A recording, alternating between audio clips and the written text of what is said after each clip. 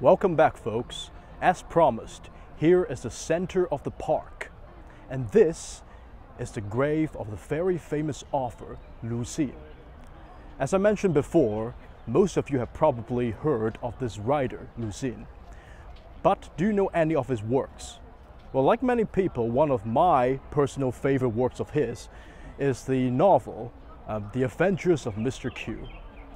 Did you know why the main character's name, the protagonist's name, is called Mr. Q?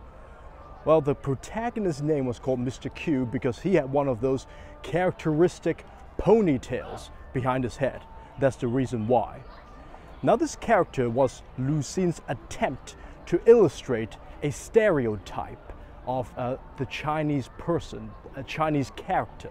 Okay, and he's used in a derogatory way in the book. Now, basically, this character uh, likes to tell lies to himself, likes to lie to himself in order to make himself feel better about himself.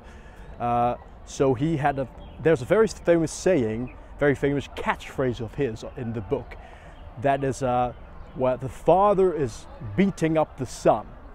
And he uses this catchphrase to make himself feel better whenever someone tries to beat him up. You know, so after someone beats him up, he says to himself, "Oh, the father's beating up the son." You know, so yeah. So if you're interested in this book, you can check out either the original text or to get a translated version in the library or inside one of the bookstores. Okay, it's not too hard to get. Okay, so yeah. So. Uh, welcome to Shanghai, folks, and uh, we'll be showing you more videos later on. So see you around, folks. Goodbye.